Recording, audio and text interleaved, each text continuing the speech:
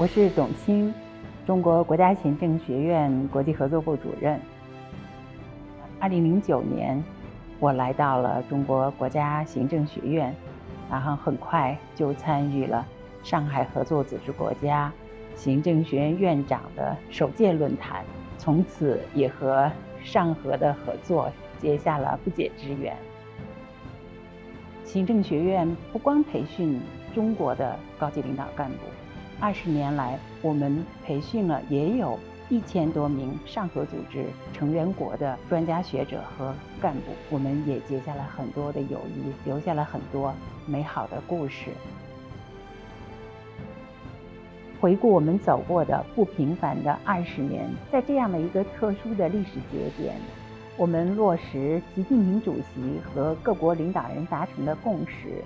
中国国家行政学院与上海合作组织秘书处共同举办上海合作组织治国理政和领导力论坛，很期望通过这次论坛，上合组织国家的公共行政机构、培训机构、智库和我们的相关的机构一起，加强务实合作，大力弘扬上海精神。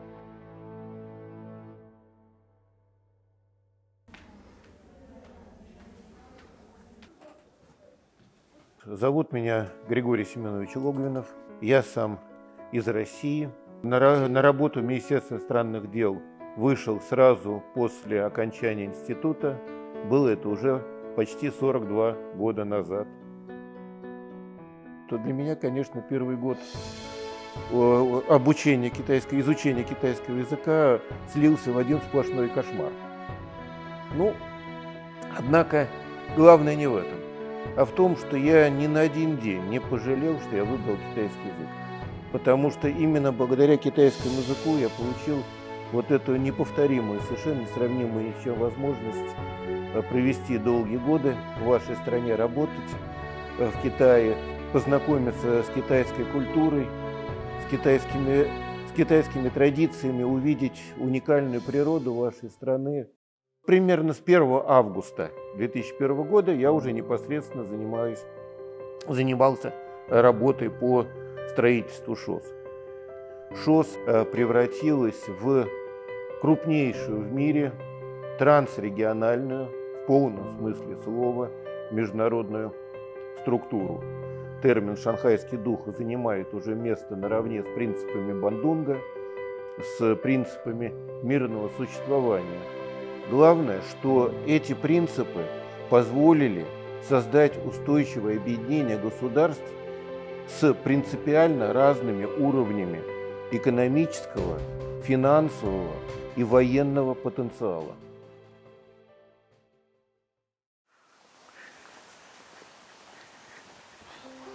我叫罗光明，来自哈萨克斯坦。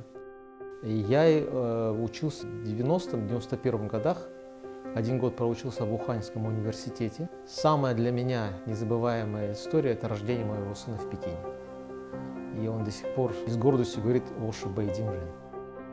У нас э, древние отношения между Казахстаном и Китаем.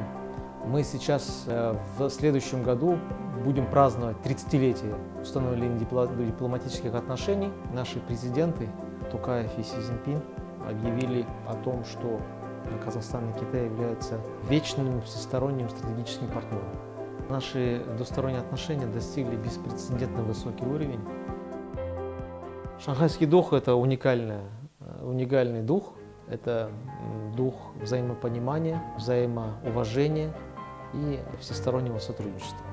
Именно благодаря шанхайскому духу организация является фактором региональной стабильности. Нас есть такое выражение в казахском языке «Кудай кускан курши».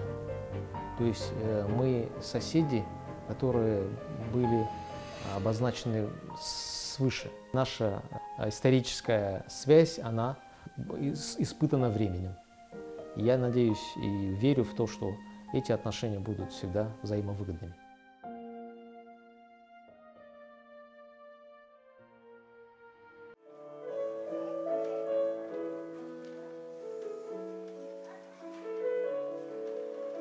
我是北京俄罗斯文化中心的主任，我叫卡西亚诺娃。когда была студенткой Московского государственного университета имени Ломоносова. А на факультете училось э, довольно большое количество китайцев, и я жила с ними в общежитии. А, и как-то я застряла в лифте и поняла, что мне просто необходимо изучать э, китайский язык. А так я начала его изучать, затем была первая стажировка, затем была магистратура Пекинского университета, а, я познакомилась со своим мужем в Китае.